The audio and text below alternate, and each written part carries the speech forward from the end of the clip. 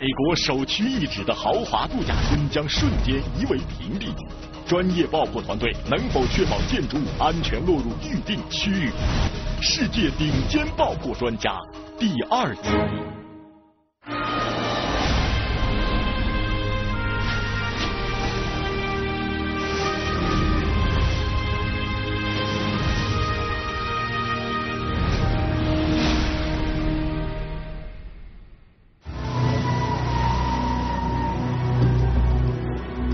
登拜尔港海滩度假村预计的爆破日期就在三天后，二百三十公斤的爆裂物送达现场，但是拜尔港镇依然在审查邻居对这次爆破的担忧。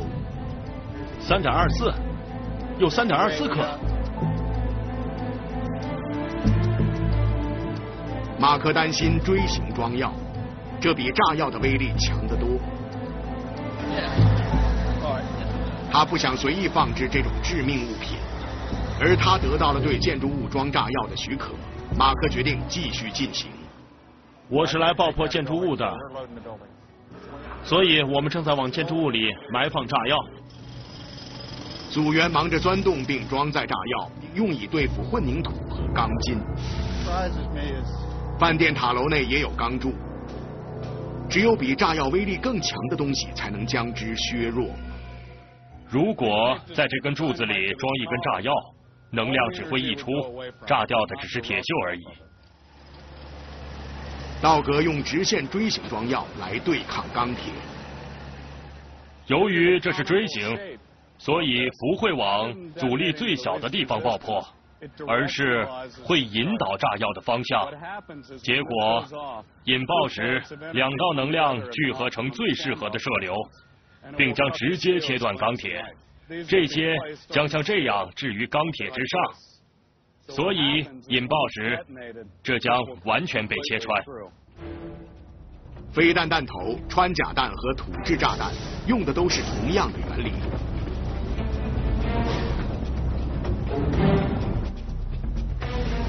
组员在钢柱两侧绑上四根锥形装药，底端和顶端各两个。炸药将同时引爆，移除柱子中较大的部分。组员开始安装锥形装药。道格和马克接到紧急电话。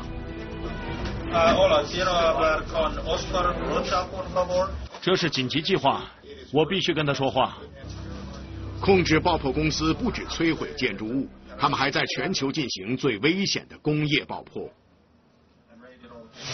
二零零六年，以色列战机在黎巴嫩轰炸美代瑞吉桥，一段桥身摇摇欲坠，控制爆破公司前来将它炸断。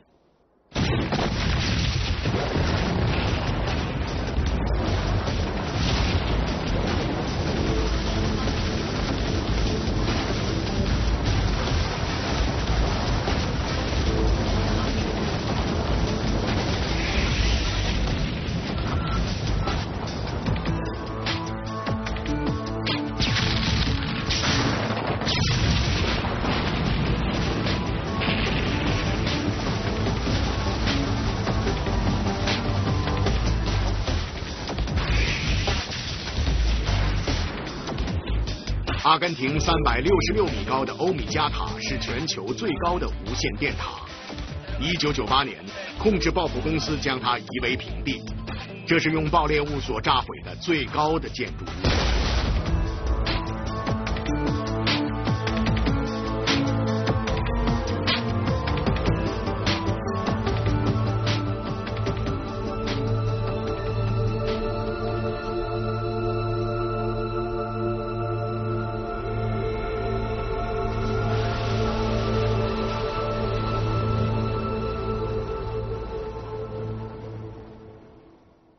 墨西哥的国营石油公司，昨天他们有个钻探平台被风吹倒，然后向另一个平台飘去，并与其相撞。一个油井口被扯裂，石油外泄情况相当严重。这事关环保，他们要我们立即过去处理。道格明天一早就要离开，去处理那笨重的钻井平台。雷朱克斯基接手棘手的锥形装药安装工作。我们是在给钢柱安装反冲炸药。锥形装药将自上而下切断钢柱，但我们必须移开钢柱，钢柱不能挡路，所以要给它一点推力。我们这里只用半根炸药，这样就足以让钢柱移位并且掉落。组员在每根钢柱上放置三组爆裂物，顶端和底端各一组锥形装药，中央是一根炸药。锥形装药引爆的速度比炸药快，所以这样的慢速让我有时间先切断钢铁，然后炸药引爆。钢铁被切断后，给它一点力量，推开钢柱，不让它挡路。锥形装药同时引爆时将切断钢柱，而柱状炸药或者叫反冲炸药在几毫秒后爆炸，爆炸的力量促使中断钢柱移位，钢柱少了支撑，重力作用使其下陷。即使经过周密计划，专家们还是觉得锥形装药难以控制，有时会带来致命的后果。一九九七年，在澳大利亚的堪培拉聚集了很多人，隔离区设在区域外围。另一个爆破小组在废弃的医院内装载爆裂物，从正面看去，爆破似乎没问题。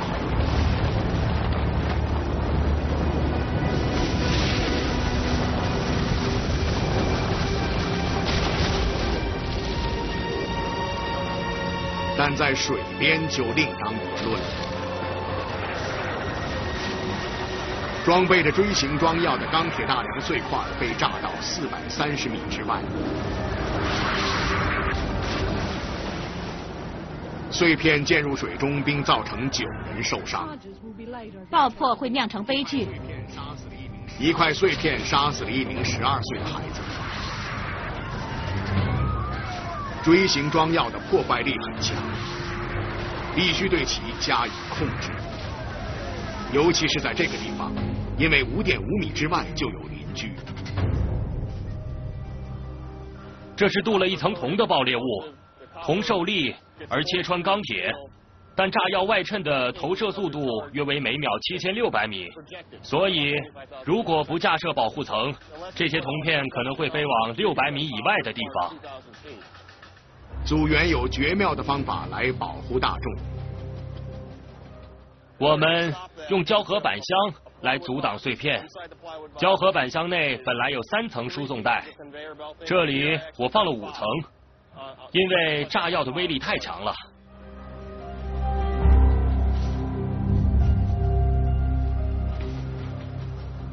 加装铁丝网和布料，主要是为了阻挡胶合板爆开。胶合板的主要作用是支持住输送带，爆炸时铜片会穿过前两层，然后停下来，这就像像是爆破的防弹衣。组员全力固定胶合板箱，距离爆破日只剩三十六个小时了，有一百多处致命的炸药需要控制。雷在饭店塔楼的一层用胶合板箱包裹炸药。马克要确定七层的延迟爆破形式。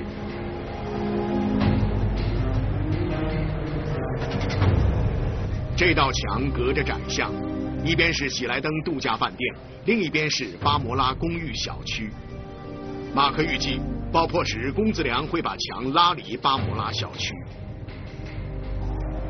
但他希望一切都成一体倒塌。如果碎开的话，残骸可能会打中底下的网球场或停车塔。明天帮哈利装缆索。更糟的是，钢筋或混凝土可能会溅到附近住满人的公寓大楼。马克决定设置另一层保险，组员安装拉力达一万五千公斤的钢索，确保墙面会向正确的方向倒塌。你可以把它拉得像钢琴线一样直。最好能听到嗡嗡的声音。组员在地板上打洞，穿过缆索，缠住下面的混凝土地板。他们将钢索系在连着小道的电梯井上。钢索？是的。你那有什么？他们将钢索系成合适的角度，以增加拉力，加速坍塌。如果安装钢索，但不继承合适的角度，那么上面的梁倾倒三十到四十度时，才会开始拉动建筑物北面的后墙。必须将那道墙拉离右边的巴摩拉公寓小区。要想让建筑物安全倒离临近建筑，这大概是最便宜的保险做法了。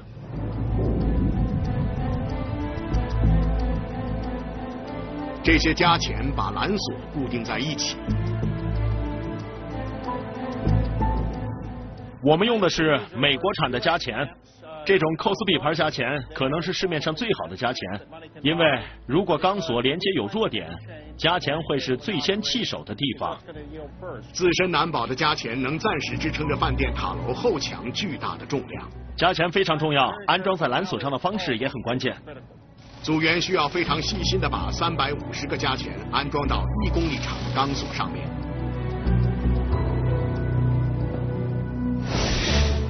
马克爆破饭店塔楼的计划即将完成，工字梁和缆索所产生的动力应该能把墙拉倒，但还需要完成最后一项准备工作。来到建筑物的一层，这是经过特别改装的铲装机，它正沿着铰链排旁边的地基敲掉混凝土。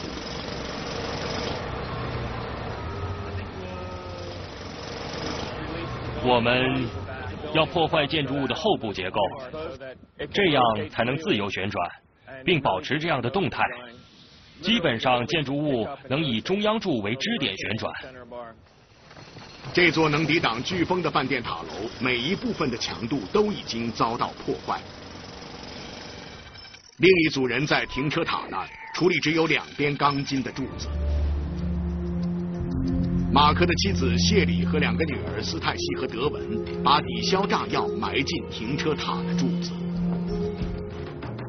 德文，我们要交错放置炸药，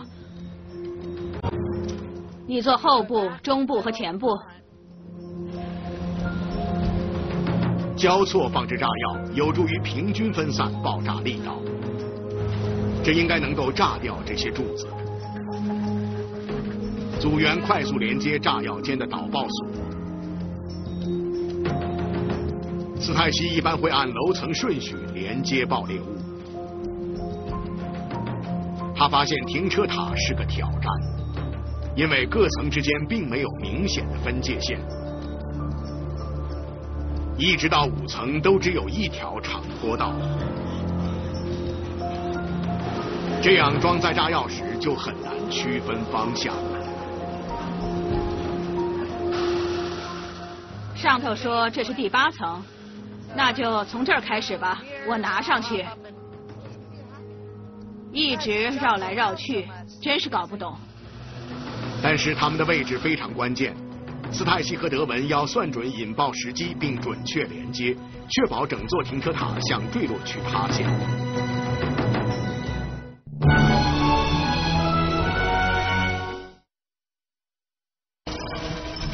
爆破日来临，二百三十公斤炸药将喜来登饭店夷为平地。世界顶尖爆破专家第二集。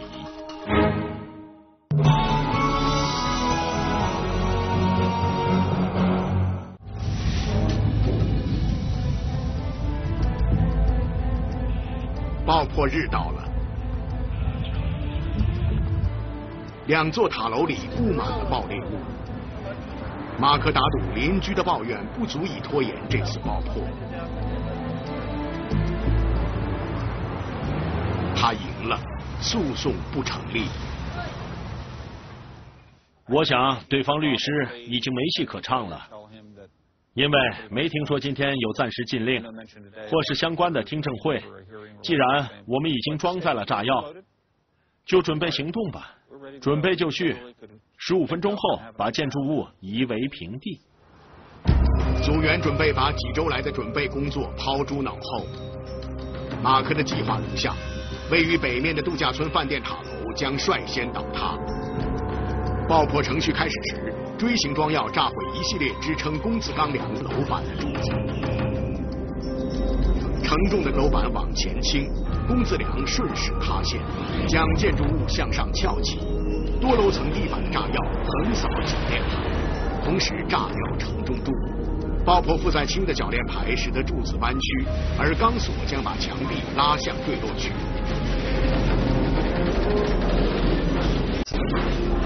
对于南面的停车塔，计划是将其分成三部分：引爆墙壁、炸掉前柱，而电梯井将扭曲并脱离建筑，然后延迟炸药引爆，炸掉停车区华夫楼板支撑。华夫楼板开始往前滑，楼梯井的墙面塌陷，落到最上层。这是马克的完美剧本。警方也有完美剧本，那就是不得有人受伤，不得发生事故。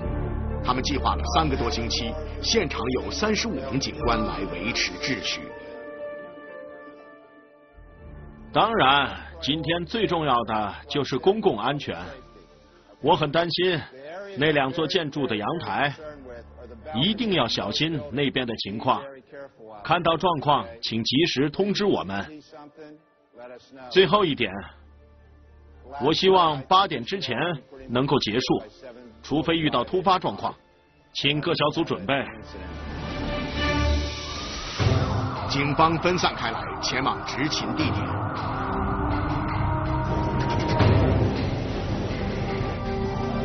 控制爆破公司组员也一样。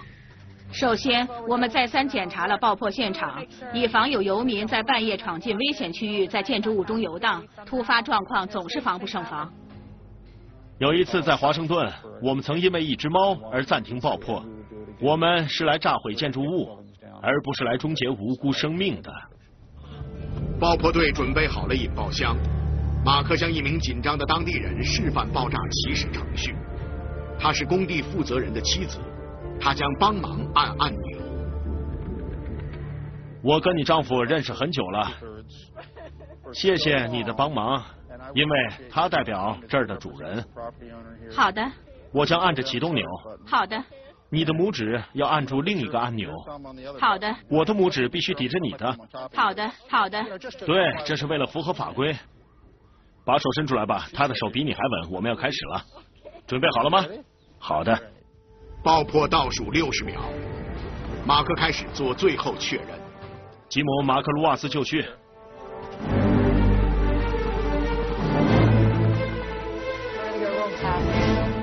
斯泰西和德文准备爆破饭店塔楼。斯泰西就绪。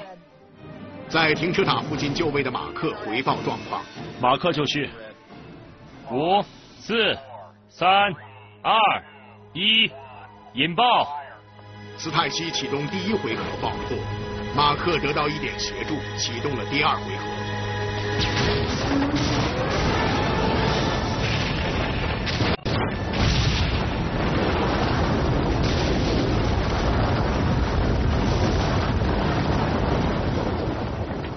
干得好！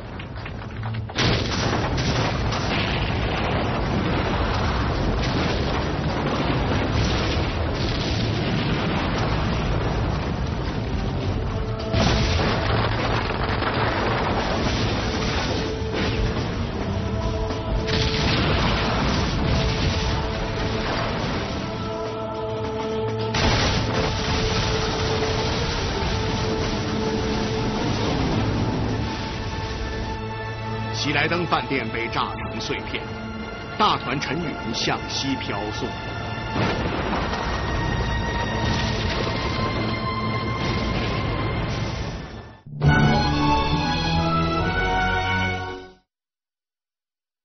一次敢作敢为的挑战，成就一部伟大的电影《霸王别姬》。隐身幕后四十余年，看尽中国电影的繁华与凋落。电影艺术家柳成。饭店塔楼一层左手边的承重钢柱最先被引爆，几毫秒后，五楼的炸药被引爆，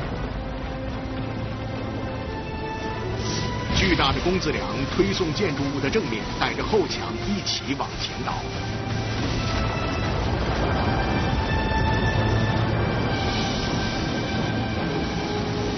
在七层，倒塌的结构绷紧钢索。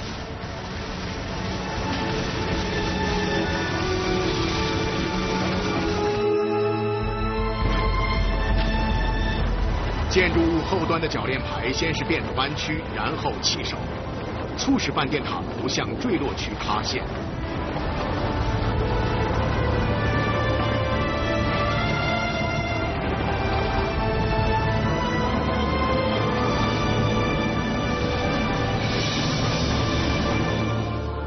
这一高速摄影的影像显示了一三五八层引爆钢柱的情况。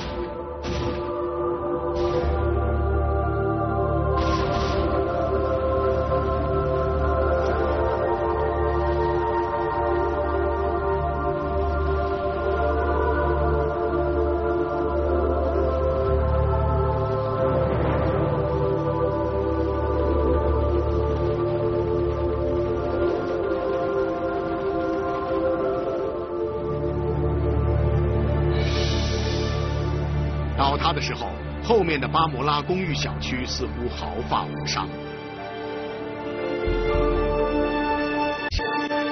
几秒钟后，引爆停车塔中固定电梯井的部分，支撑停车塔正面的柱子在几毫秒后引爆，数十次小型引爆共同造成脚边坍塌。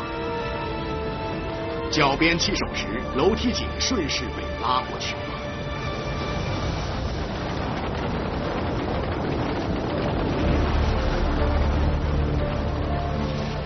喜来登不到十九秒就塌落了，任务完成的很棒。佛罗里达州的烟火节，现在庆祝或许还太早。马克一组人前去评估爆破结果。爆破期间，从水边吹来的风将尘云吹离公寓大楼。这里的尘云很浓，风直接向购物中心方向吹。高级公寓住宅的住户免于灰头土脸，清洁人员快速移往购物中心。大小爆破的副产品之一就是沙尘。内爆的优势在于，它产生的沙尘量虽然跟传统的爆破一样，但沙尘是一次出现，这样就便于防备。我们可以关闭进气装置，保护临近住宅。所以总的来说，风向也很帮忙。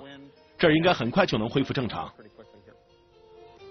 马克认为瓦砾堆低于十一米就说明爆破成功，再高一点机械手就够不到残骸，无法加以清除。控制爆破公司，南塔爆破成功，没有反弹现象，没有砖瓦钢筋越过围篱。挖掘人员将花费六周的时间来清理现场。马克巡视现场，似乎一切都很顺利。然后他看到了巴摩拉小区的栅栏。谢谢你。那我想问问你，你能不能告诉我，有哪家公司可以过来进行更换？爆破的残骸破坏了一段巴摩拉小区的栅栏。他们的机器会先把残骸清走。栅栏公司明天一早就会来把栅栏装好，巴摩拉小区将完全恢复原状。我要去向他们道歉，因为他们不得不安装新的栅栏。马克沉思的检视自己的作品，看到这里呈垂直塌落，然后呈现出不同的速度，接着上层炸药横扫过去。令我惊讶的是，残骸竟然向南方投射了那么远。经过一天的爆破，马克重新给差之毫厘下了定义，而迈阿密出现一片新的空地，未来将有新的建筑物矗立其上，一段新历史将从今天开始。